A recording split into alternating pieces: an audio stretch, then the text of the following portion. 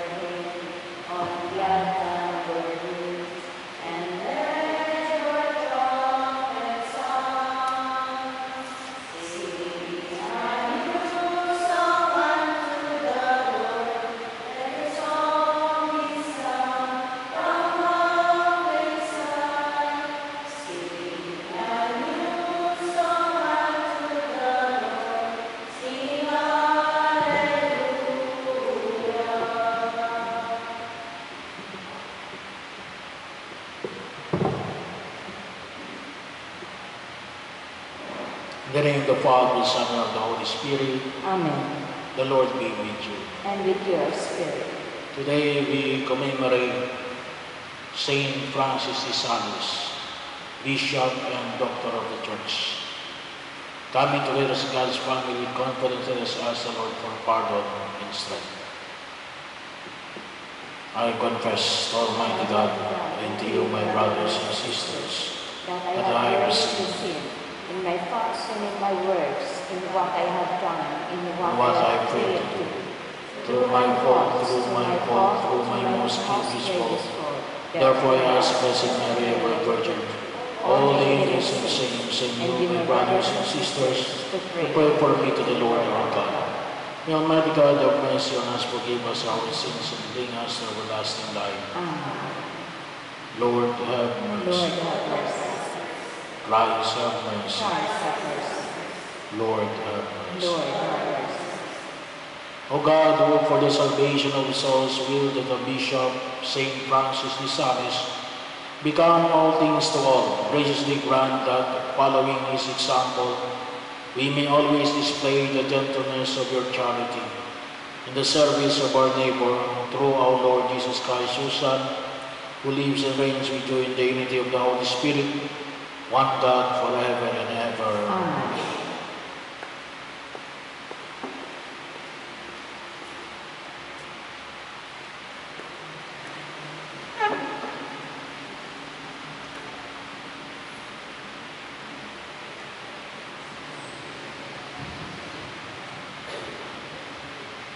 A reading from the letter to the Hebrews.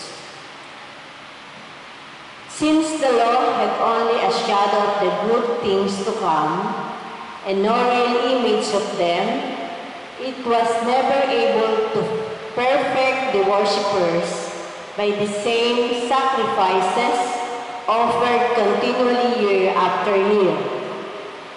Where matters otherwise, the priest would have stopped offering them, for the worshippers, once cleansed, would have no sin on their conscience.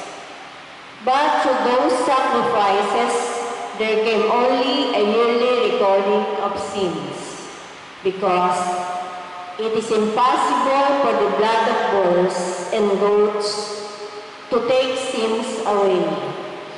Wherefore, on coming into the world, Jesus said, Sacrifice and offering you did not desire, but a body you have prepared for me. Holocaust and sin offerings you took no delight in. Then I said, As is written of me in the book, I have come to you, your will, O God. First he says, sacrifices and offerings, holocaust and sin offerings, you neither desired nor delighted in.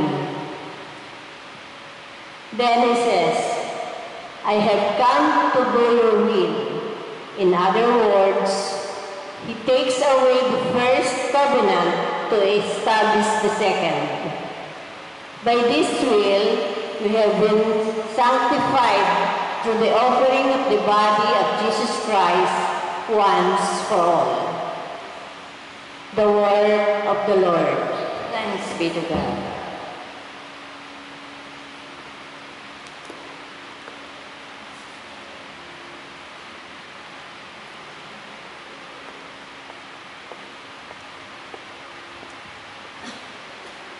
Here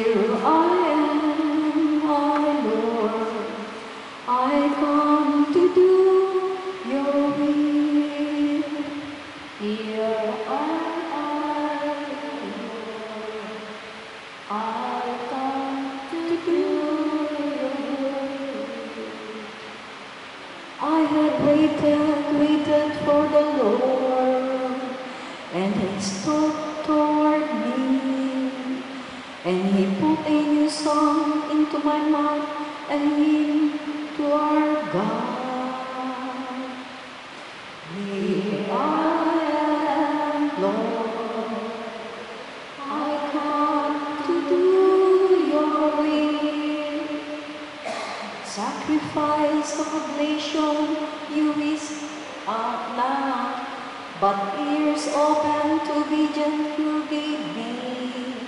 Holocaust or sin offerings you sought not. Then said I, Behold, I come.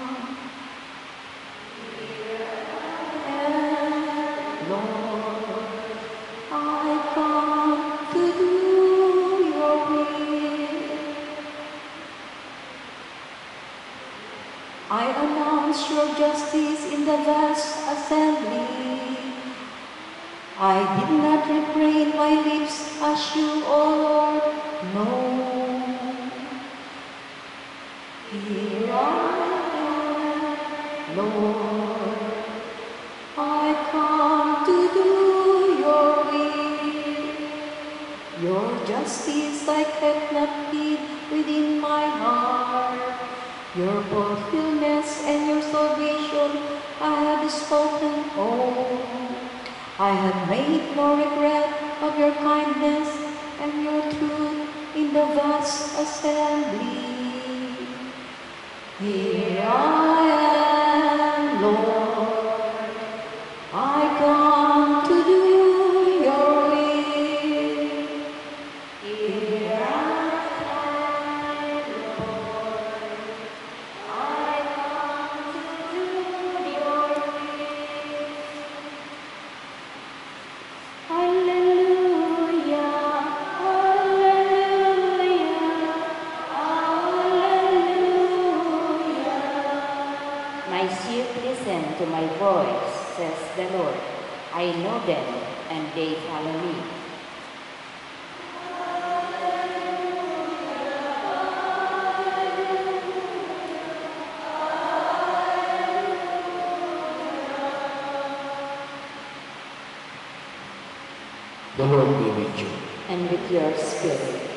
The Gospel according to Mark. Glory to you, The mother of Jesus and his brothers arrived, and as they stood outside, they sent word to him to come out. The crowd seated around him told him, Your mother and your brothers and sisters are outside asking for you. He said in reply, Who are my mother and my brothers? Gazing around him, And those seated in the circle he mentioned, he continued, These are my mother and my brothers. Whoever does the will of God is brother and sister and mother to me. The Gospel of the Lord. Praise to you, Lord Jesus Christ. Kanina po ay nanggaling ako sa Dilapas, Binyan. Piyesta ngayon na kanilang patron, ang mahal na beren ng Dilapas at with biyahe, Our Lady of Peace and Good Voyage. So bahagi yun na kung saan ay pinarangalan natin ang mahal na Beren Maria. Katulad ni pinahayag sa banal na kasulatan. Ito, ito ang aking ina. Ito ang aking mga kapatid. Pero ang mahal na Beren Maria ay mahalaga po ano, sa atin bilang mga Pilipino. Sabagay, siya ay isa sa mga huwaran kung paano sumunod sa kalooban ng Diyos. At bahagi ho ng pagkilos, lalong-lalo na ngayong taon na ito, na ipinagdiriwang din natin ang limang daang taon na sorry na isang daang taon pala no? na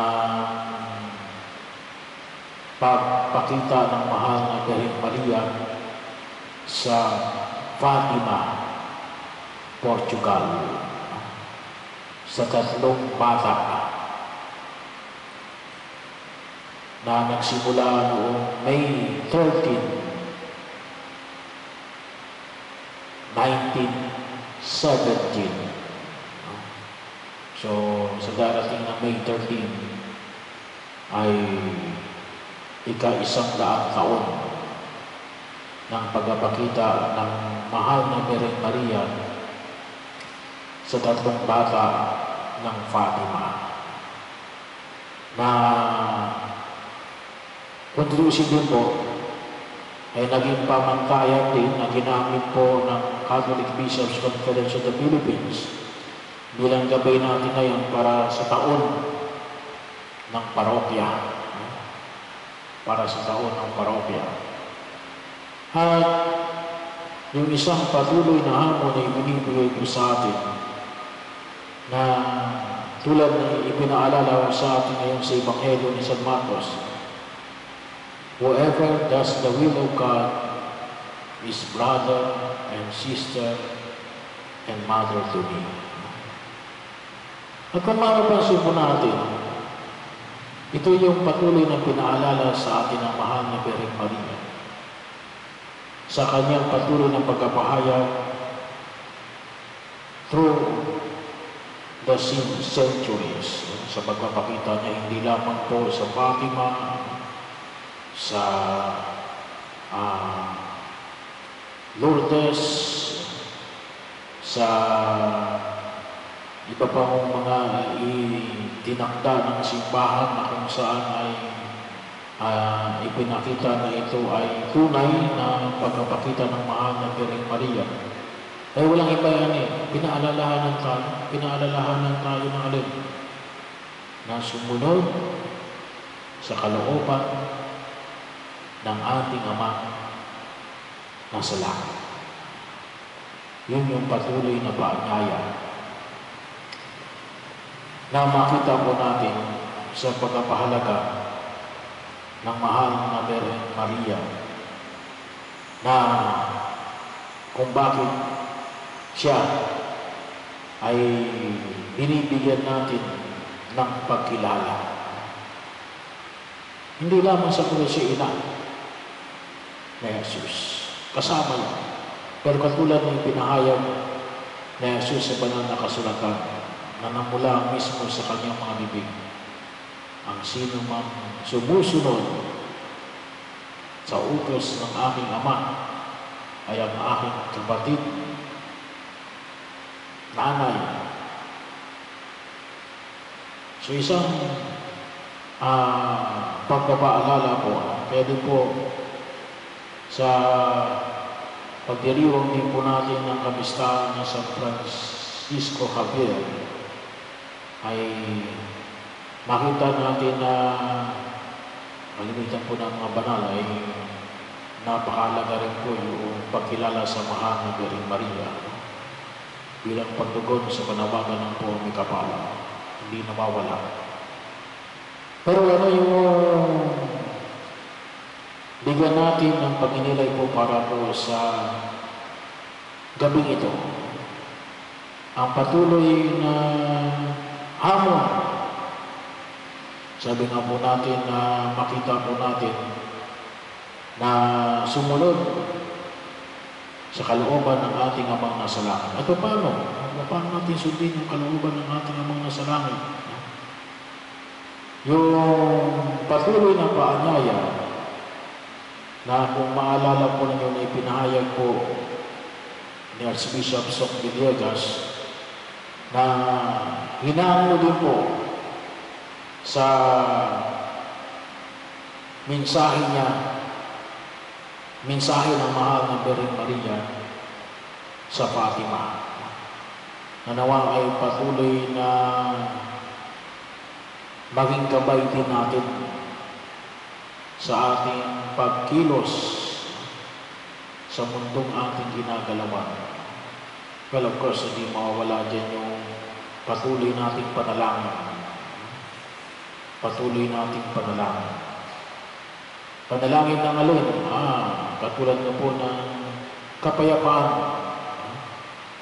Kapayapaan. Kung niyo maalala, na isa ho sa mga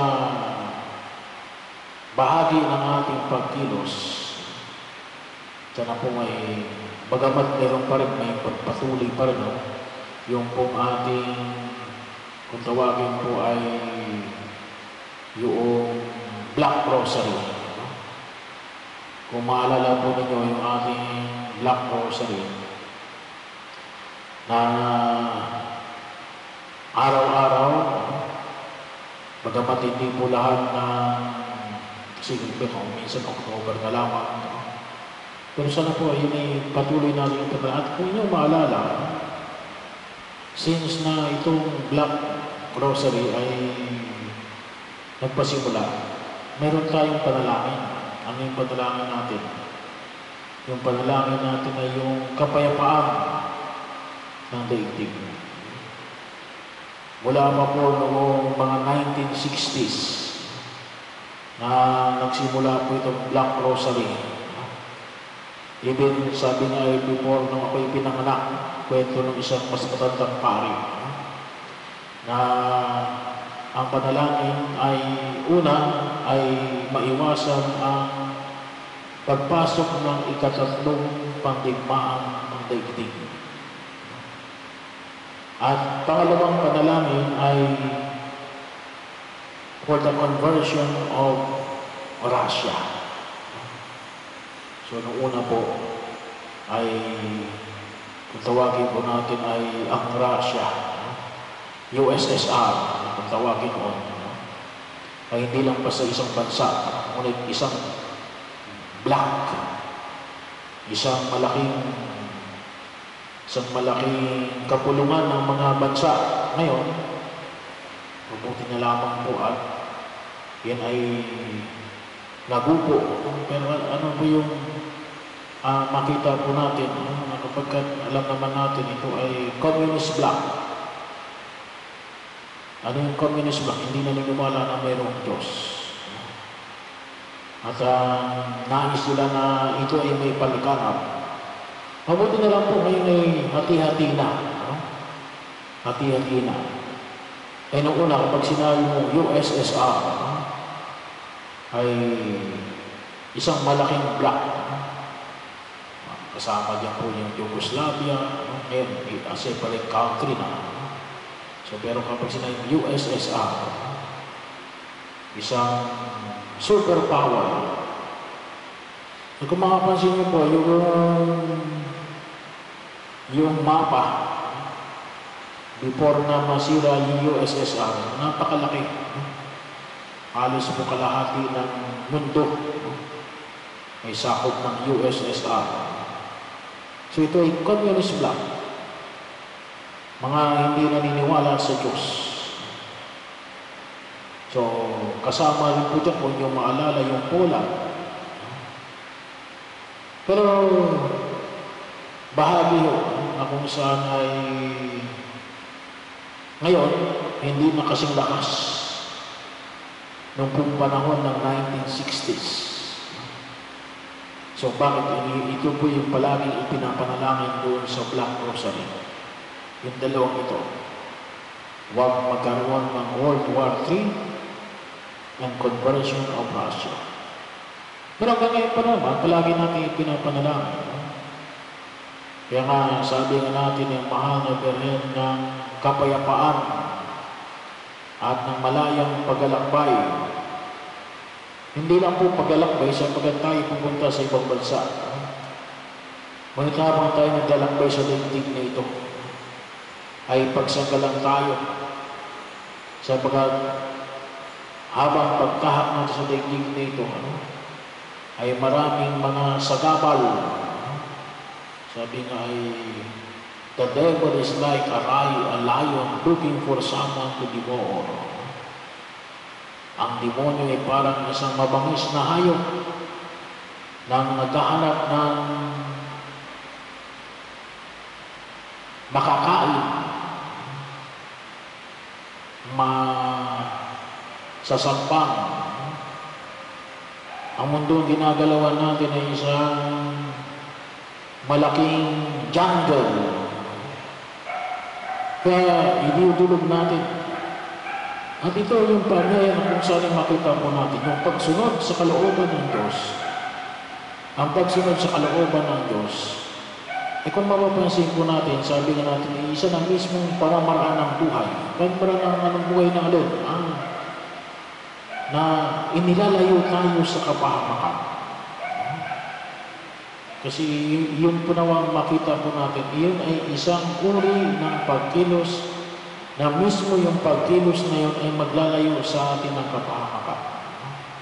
Yung mismo pagsunod sa kalooban ng Diyos ay isang pagsunod na kung saan ito yung landas na ah,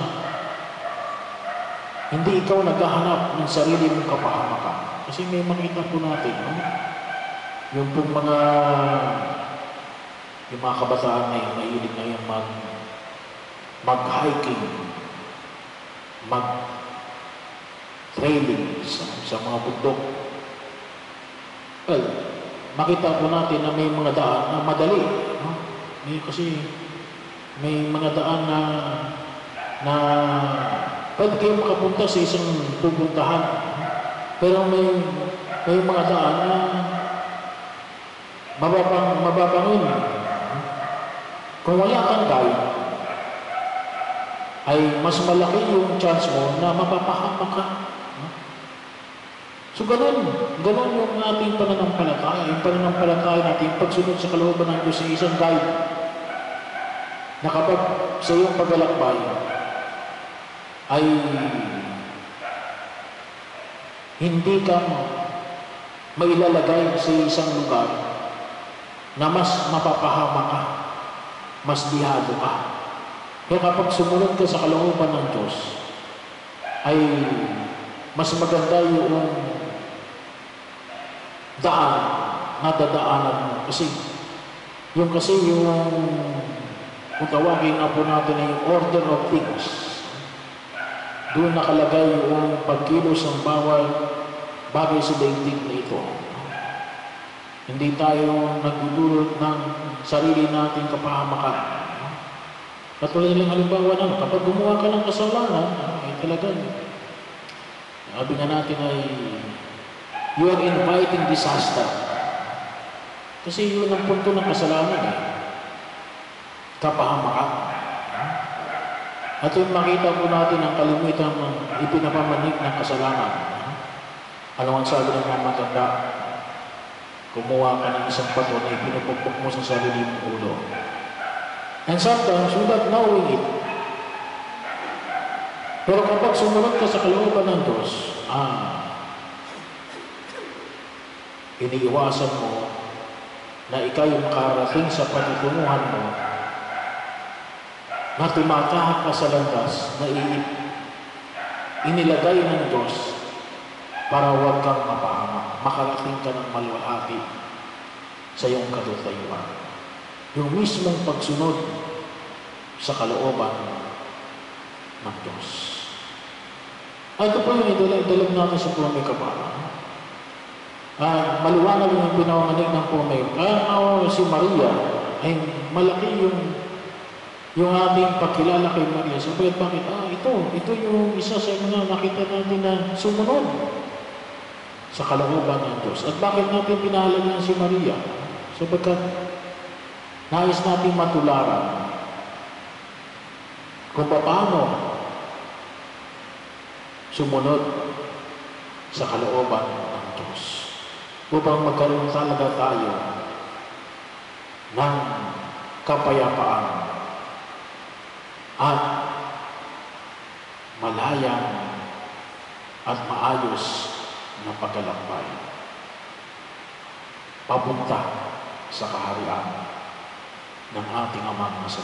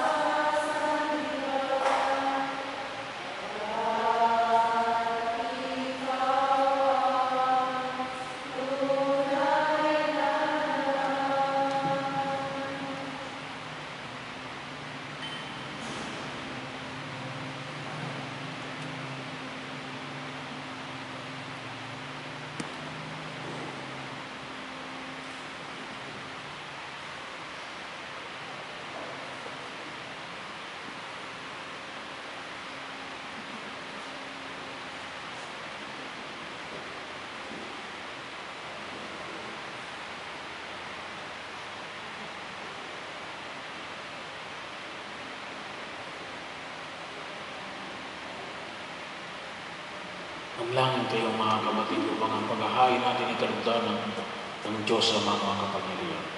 Tanggapin mo ngayon, Panginoon, paghahain sa iyong mga kamay, sa kapurihan at karangalan, sa ating kapakinig sa buong sandayan ng Through this saving sacrifice which we offer you, O Lord, kindle in our hearts the divine fire of the Holy Spirit with which you wonderfully inflame the most gentle soul of Saint Francis de Sales, through Christ our Lord. The Lord be with you. And with your spirit, Give up your we hearts. lift them up to the Lord. Let us give thanks to the Lord our It God. is right and trust. It is to the right and just, our duty and our salvation, always and everywhere to give you thanks, Lord, Holy Father, Almighty, Eternal God.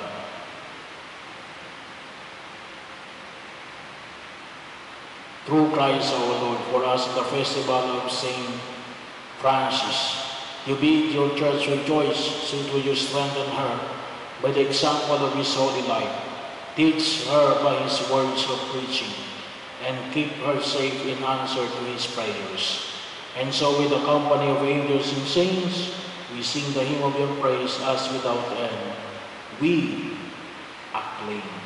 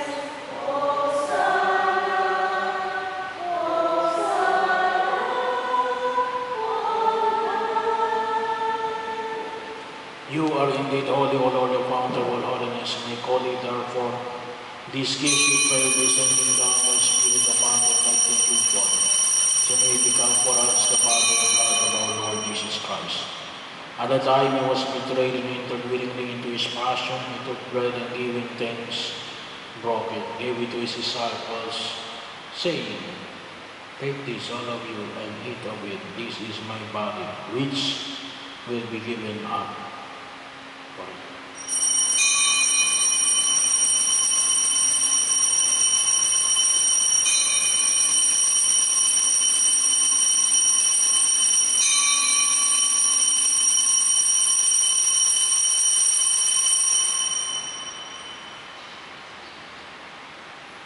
In a similar way, when supper was ended, he took the chalice and once more giving thanks, he gave it to his disciples, saying, Take this, all of you, and drink from it. This is the chalice of my blood, the blood of the new and everlasting covenant, which will be poured out for you and for many, for the forgiveness of sins.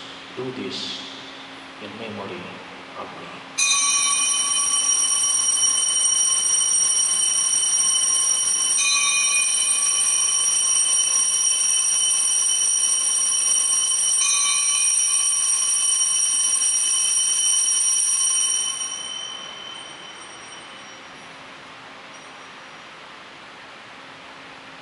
The mystery of faith.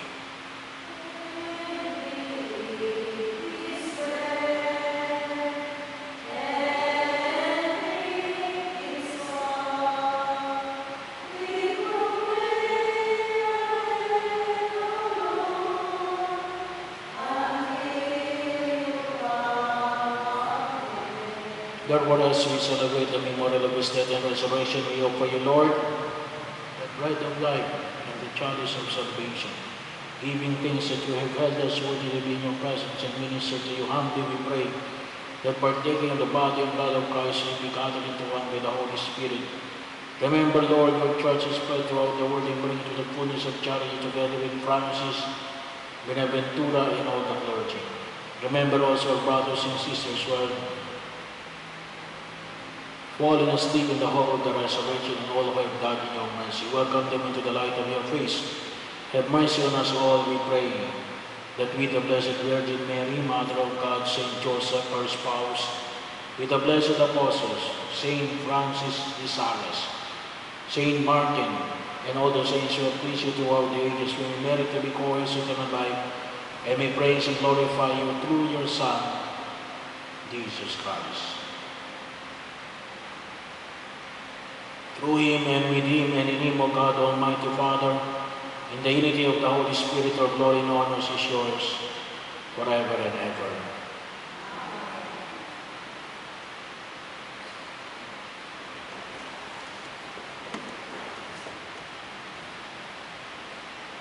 That we will be truly be like Mary, because we do the will of our Father.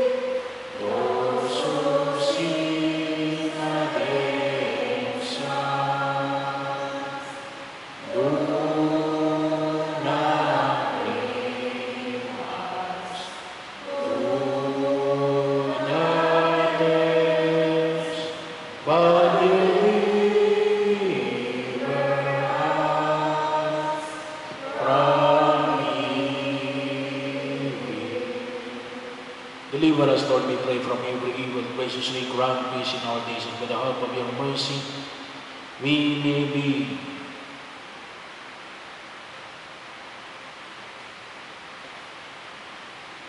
free from sin and safe from all distress, as we await the blessed hope in the coming of our Savior, Jesus Christ.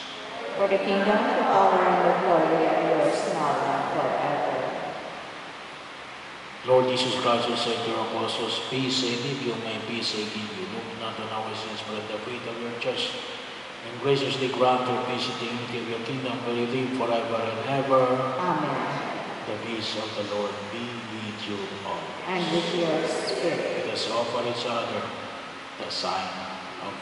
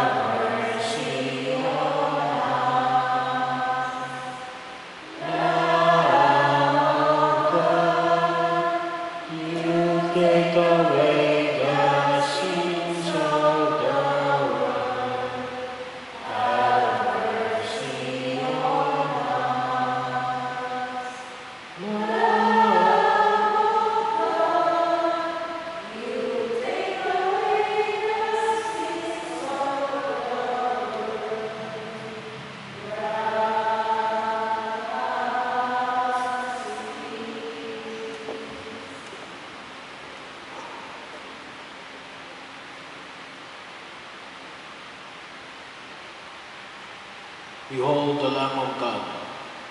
Behold him who takes away the sins of the world. Blessed are those who are called to the supper of the Lamb. Lord, I am not worthy that you should enter under my roof, but only word, and my soul shall be healed.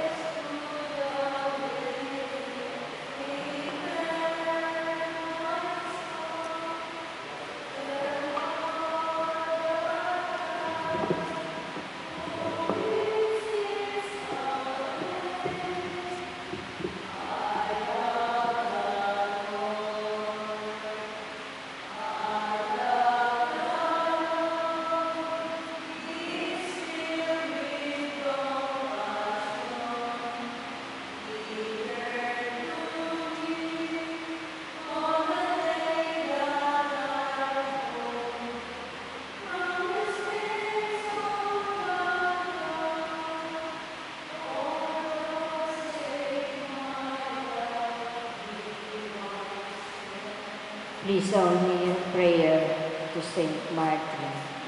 Saint Martin de Porres, you always had sympathy for the poor and those who are suffering. We need your help and now ask for it.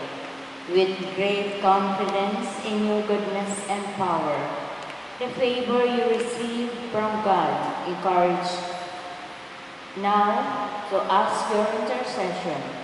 We ask you most humbly befriend us and assist us from your place in heaven. When you were here on earth, you spent your life loving God and your neighbor.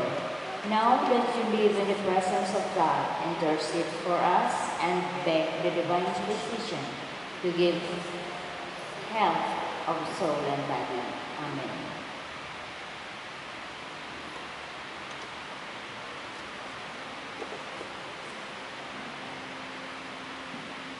Grant, we pray, Almighty God, that through the sacrament we have received, we may initiate on earth the charity and meekness of Saint Francis de Sales, and so attain like him the glory of heaven. Through Christ our Lord, Amen.